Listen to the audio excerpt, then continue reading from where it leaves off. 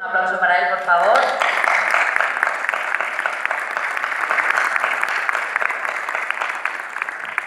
Siéntate aquí a lo. Marcos.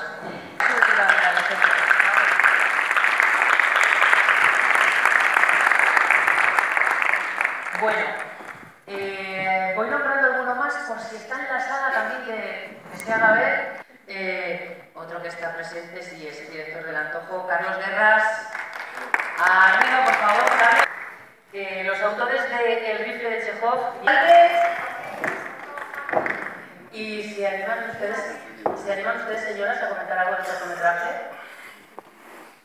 Pues, bien, un aplauso para ella. La madre de, de Guillermo, muy bien, así da gusto, la madre del artista. bueno, eh, Víctor Alutis, de Esto es lo que está pasando. Álvaro de la Hoz, Frightened Boots. Antonio Campuzano. Vale, Antonio, te reservo para después, ¿vale? Javier Serna Cacho, de La Revelación. Santos, que le tengo por aquí localizado. Vale, pues para la, la siguiente tanda. Bueno, pues rápidamente vamos a dar paso a, a la conversación. Marcos, tienes presentados tres cortometrajes. Eh, esto de llevar este ritmo de trabajo, ser tan prolífico, ¿cómo lo haces? Bueno, pues muchas veces hay más, más que de una preparación exhaustiva, muchas veces viene de, de impulso. O sea que tengo que admitir que hay cortos, y creo que esto suena un poco de ya porque, porque me quiero que lo he comentado en más ediciones pasadas del festival, que o sea, hay algunos que, se dedico, o el equipo, dedicamos quizás un mes o un mes y pico de, de producción, pero hay otros que salen, como por ejemplo... Eh, y este próximo, o lo que queda de 2018, ¿estás trabajando en más cortometrajes? ¿Tienes preparadas más cosas? Bueno, estamos en plena preproducción de un siguiente corto que queremos empezar a rodar a mediados, finales de junio, más o menos. Esta vez con pero me parece un guion muy interesante y que me dejó absolutamente perplejo. Yo creo que va a ser muy interesante.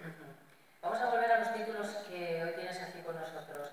Eh, en medio de la noche. Nos has favorecido, claro. Por. Este tipo- y gracias por, por, haber presentado estos tres trabajos. Gracias. Luisma, Luisma Lostal. Bueno, también trabajas mucho, ¿eh? Porque también presentas eh, tres cortometrajes, Gatita de Mar, Simbiosis y Teaser. ¿Te gusta también experimentar con la imagen? Sí, la verdad es que las películas que hago eh, son bastante extrañas, muy extrañas, son muy contemplativas, son muy etéreas. Y luego yo, incluso hay dos de ellas que yo lo considero eh, una sensual sensorial, son dos sensaciones, sensualidades.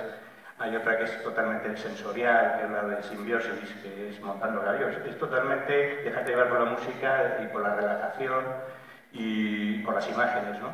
Y la de simbiosis, eh, esta sería la de simbiosis, y luego la de, la de gatita de mar, pues sería más sexual sensorial y es un poco algo fantástico, como otros mundos, eh, crees que estás viendo una cosa y luego cuando se da la vuelta lo que estás viendo es otra cosa diferente, que te lleva a otros mundos, también muy, todo muy, muy sensorial, muy, muy visual, con la fotografía del mar, que a mí el mar me encanta. Y luego la de teaser rompe con todo, es decir, teaser... Es muy diferente. Sí, la de teaser la hice la noche de Halloween porque, como con Marcos, yo soy enamorado de la noche de Halloween, de Marcos, de esto de John Carpenter y del cine de John Carpenter. Y entonces la noche de Halloween, pues yo dije, voy a hacer algo y lo hice, lo hice en una tarde y todo yo, pero muy, impactante y además es que rompe con ese cine sensorial que tengo y... Bueno, Carlos, Hola, buenas. tú presentas Uno.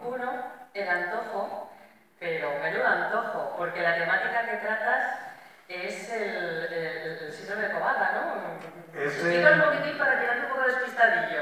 El síndrome de combate es un síndrome que se da en el embarazo. Esto es un corto que se nos ocurrió a Maite y a mí un día que estábamos muy aburridos, Eso, solo he presentado este cortometraje aquí y a todos los lados. O sea, es el, al primer festival que represento y, me, y les selecciona, vamos. Bueno, qué bien. Pues sí. Eh, dices que lo rodasteis en un, en un solo día. Y Asu, que es la madre de Guillermo Ruiz Rodríguez. Yo no soy creativa ni he hecho nada.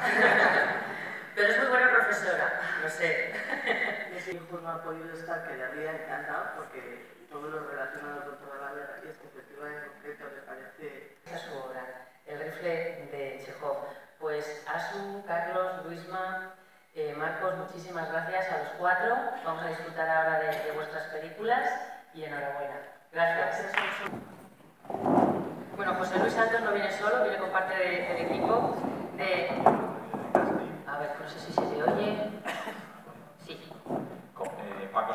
Director de casting y de dirección, y María Soler, nuestra directora de, de producción. Y Antonio, hola. bueno, voy a comenzar por aquí, por el extremo. Antonio, eh, la escultura en Santa María la Real de Piasca, ¿qué tiene el arte rupestre románico que tanto te gusta?